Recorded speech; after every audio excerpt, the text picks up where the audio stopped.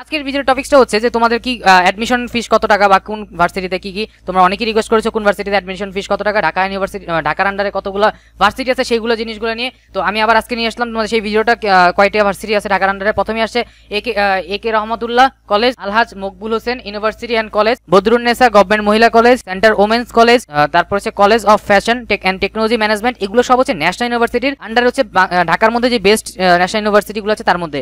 তোমরা অবশ্যই এই সবগুলো কলেজের নাম ডেসক্রিপশন বক্সেও পেয়ে যাবে, ঠিক আছে? আর যে আরেকটা জিনিস হচ্ছে যে তোমাদের ফিস কত টাকা, তোমাদের এখানে ধার্য করা হয়েছে যে নর্মালি যেই সরকারি ইউনিভার্সিটিগুলো আছে বা সরকারি ইউনিভার্সিটি যেগুলো ন্যাশনাল আন্ডারে সেগুলোর ফিস হচ্ছে তোমার সাতশো টাকা করে টিউশন ফিস আর হচ্ছে